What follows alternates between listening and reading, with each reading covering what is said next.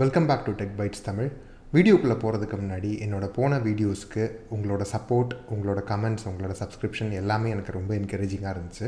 இந்த மாதிரி நிறைய டெக் கண்டென்ட் கொடுக்கறதுக்கு உங்களோட இந்த கமெண்ட்ஸ் அண்ட் சப்போர்ட் எனக்கு கண்டிப்பாக வேணும். இந்த மாதிரி நிறைய கண்டென்ட் கொடுக்கறதுக்கு நான் யோசிச்சுட்ருக்கேன் ஸோ உங்களோட ஃப்ரெண்ட்ஸ் ஃபேமிலி அண்ட் கொலீக்ஸ் யாருக்கெல்லாம் இந்த கண்டென்ட்லாம் யூஸ் ஆகுமோ அவங்களுக்குலாம் நீங்கள் ஷேர் பண்ணுங்கள் என்னோட சேனலுக்கும் சப்ஸ்கிரைப் பண்ண சொல்லுங்கள் ஏன்னா தொடர்ந்து நான் இந்த மாதிரி நிறைய வீடியோஸ் நான் போட போகிறேன் சரி டாபிக் உள்ளே போகலாம் நம்ம போன வீடியோவில் எப்படி கிரேட் கிரிகாலன் மேஜிக் ஷோக்கு ஒரு எஸ்எல்ஐ எஸ்எல்ஓ எஸ்எல்ஏ செட் பண்ணுறதுன்னு பார்த்தோம். யாரெல்லாம் பார்க்காம இருக்கீங்களோ அந்த வீடியோவை தயவுசெய்து பார்த்துருங்க இந்த பிளேலிஸ்ட்டோட எபிசோட் த்ரீ தான் அந்த பர்டிகுலர் வீடியோ எபிசோட் த்ரீல நம்ம ஒரு சர்வீஸ்னால் என்ன அந்த சர்வீஸ்க்கு எப்படி எஸ்எல்ஐ எஸ்எல்ஓ எஸ்எல்ஏ செட் பண்ணுறதுன்னு தான் பார்த்துருந்தோம். ஆனால் இப்படி கஷ்டப்பட்டு நாம் எதுக்கு அந்த பராமீட்டர்ஸ்லாம் செட் பண்ணி ஒரு ஐடி அப்ளிகேஷனை மானிட்டர் பண்ணணும் மெயினாக அந்த ஐடி ப்ராடக்ட்ஸ் மூலமாக வர்ற அந்த ரெவென்யூ தாங்க முக்கியமான காரணம். அந்த பர்டிகுலர் ரெவென்யூ இருக்குல்ல அந்த ரெவென்யூ எங்கெங்கே வருதோ அங்கெங்கெல்லாம் நம்ம வந்து கஸ்டமர்ஸ் வந்து ஹாப்பியாக இருக்கிறாங்களா இல்லையாங்கிறத நம்ம தெரிஞ்சுக்கணும். எப்போவுமே அதை தெரிஞ்சுக்கிட்டா தான் நம்ம ப்ராடக்ட்ஸ் வந்து சக்ஸஸ் ஆகுமா ஆகாதாங்கிறத கூட நீங்கள் டிட்டர்மைன் பண்ண முடியும். அந்த மெயின் ரீசனுக்காக தான் நம்ம அந்த எஸ்எல்ஐ எஸ்எல்ஓ எஸ்எல்ஏ எஸ்ஆர்இ இதெல்லாமே நம்ம வந்து ஃபாலோ பண்ணுறதுக்கு முக்கியமான ரீசன்ஸ் ஐடி ப்ராடக்ட்னா கூகுள் ஃபேஸ்புக் மாதிரி பெரிய ப்ராடக்டாக இருக்கணும்னு அவசியம் இல்லை.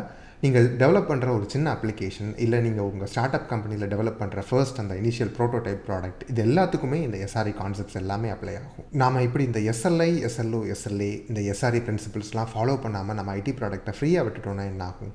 நம்ம ப்ராடக்ட்டை யூஸ் பண்ணுற கஸ்டமர்ஸ் வந்து ஹாப்பியாக இருக்கிறாங்களா இல்லையாங்கிறது உங்களுக்கு தெரிஞ்சிக்கவே முடியாது.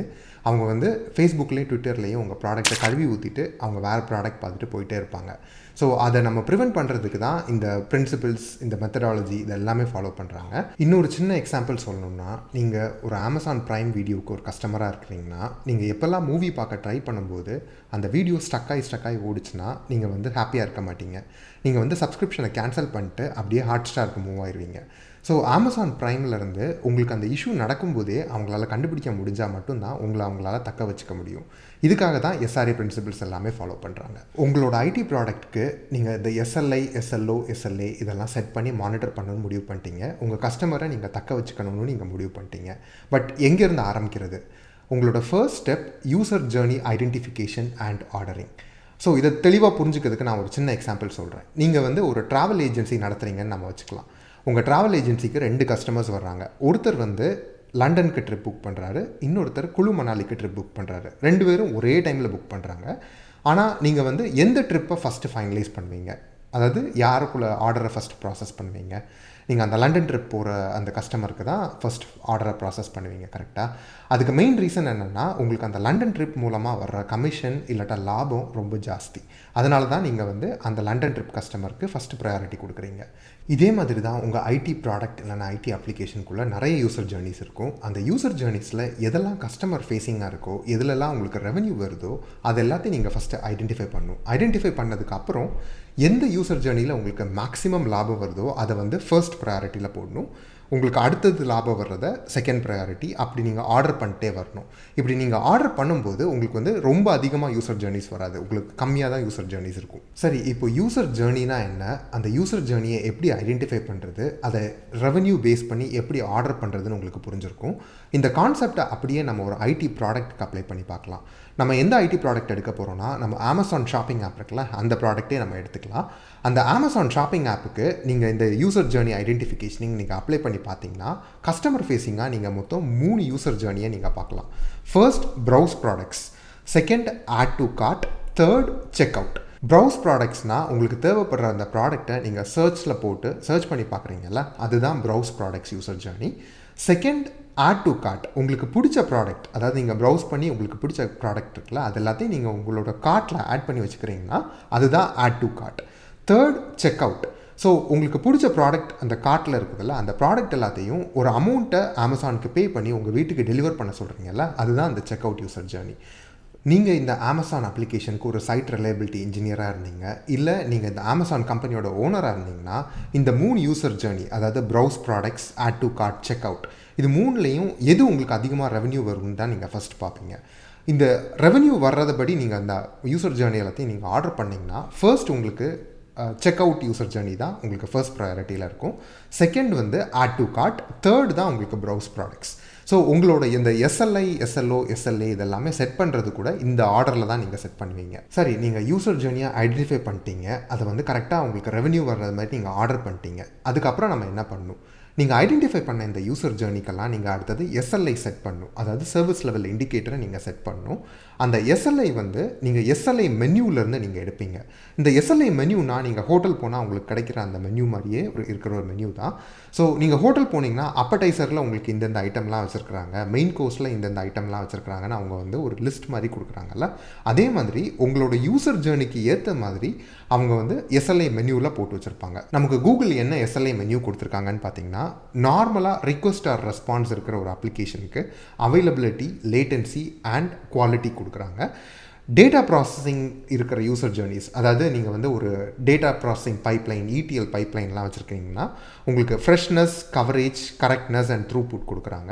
இல்லை நீங்கள் வந்து ஒரு கூகுள் ட்ரைவ் இல்லை ஒரு பெரிய ஒரு ஸ்டோரேஜ் சிஸ்டம்க்கு நீங்கள் வந்து எஸ்எல்ஐ செட் பண்ணுறீங்கன்னா உங்களுக்கு டியூரபிலிட்டியை அந்த எஸ்எல்ஐ மெனுவில் கொடுக்குறாங்க. நம்மளோட அந்த அமேசான் ஆப்க்கு நம்ம அவைலபிலிட்டி அண்ட் லேட்டன்சியை நம்ம அந்த ரிக்வஸ்ட் ஆர் ரெஸ்பான்ஸ் எஸ்எல்ஐ மெனுவிலேருந்து நம்ம எடுத்துக்கலாம். நான் போன வீடியோவில் சொன்னது மாதிரியே எப்போவுமே எஸ்எல்ஐ ஈக்குவேஷன் வந்து good events by valid events into hundred தான் இருக்கும். போன வீடியோவில் நம்ம வந்து good magic tricks by valid magic tricks into ஹண்ட்ரட்னு அதை எடுத்துக்கிட்டோம். அதே மாதிரி நம்ம இப்போ இருக்கிற அந்த ஐடி அப்ளிகேஷன் அதாவது அந்த செக் அவுட் யூசர் ஜேர்னிக்கு நம்ம எஸ்எல்ஐ செட் பண்ணுறதா இருந்தால் good HTTP response codes by valid response கோட்ஸ்னு எடுத்துக்கலாம். இப்படி நீங்கள் ஒரு பர்சன்டேஜாக எடுக்கிறதுனால என்ன அட்வான்டேஜ்னா உங்களோட நம்பர்ஸ் எப்போவுமே ஹண்ட்ரட்க்கு கீழே தான் இருக்கும். உங்களுக்கு வந்து இந்த பர்சன்டேஜை வச்சு இன்னொரு டீமுக்கு கம்யூனிகேட் பண்ணுறது இல்லை உங்கள் இன்டர்னல் டீம் கம்யூனிகேஷன் கூட ரொம்ப சிம்பிளாக உங்களால் கம்யூனிகேட் பண்ண முடியும். உங்களுக்கு நீங்கள் அந்த எஸ்எல்ஐயை மீட் பண்ணீங்களா மீட் பண்ணலையா அந்த கேல்குலேஷன் எல்லாமே உங்களுக்கு வந்து ரொம்ப சிம்பிளிஃபை ஆயிரும்.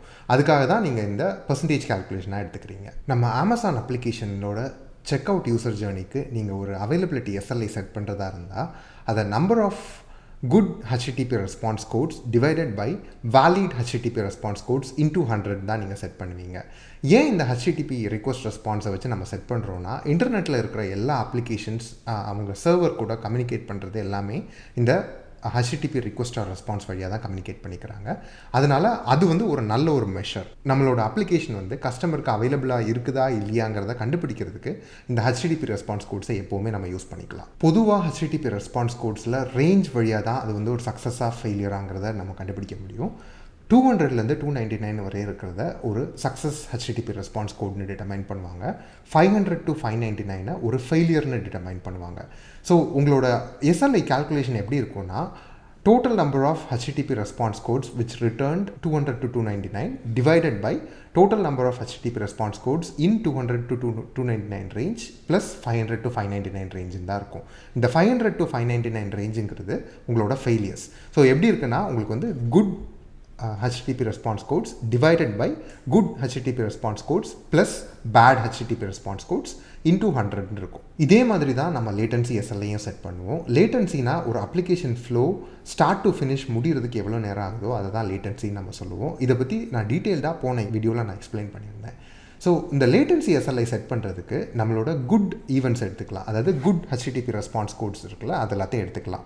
எதெல்லாம் ரெஸ்பான்ஸ் கோட்ஸ் வந்து two hundred to two ninety nine range இருக்கோ அது எல்லாத்தையும் எடுத்துகிட்டு அந்த குட் ரெஸ்பான்ஸ் கோட்ஸில் எந்தெந்த ரெஸ்பான்ஸ் வந்து உங்களுக்கு டூ ஹண்ட்ரட் மில்லி செகண்ட்ஸை விட கம்மியாக இருக்கிறதோ அதெல்லாம் குட் ஈவெண்ட்ஸ் எந்தெந்த ரெஸ்பான்ஸ் கோட்ஸ் எல்லாம் உங்களுக்கு டூ ஹண்ட்ரட் மில்லி செகண்ட்ஸை விட அதிகமாக எடுத்துக்கிச்சோ அதெல்லாமே பேட் ஈவெண்ட்ஸ் ஸோ நீங்கள் உங்களோட லேட்டன்சி எஸ்எல்இ கால்குலேஷன் எப்படி போடலான்னா good HTTP response codes which returned within 200 milliseconds divided by good HTTP response code which returned within 200 milliseconds plus good HTTP response codes which than more than 200 milliseconds நம்ம எடுத்துக்கலாம்.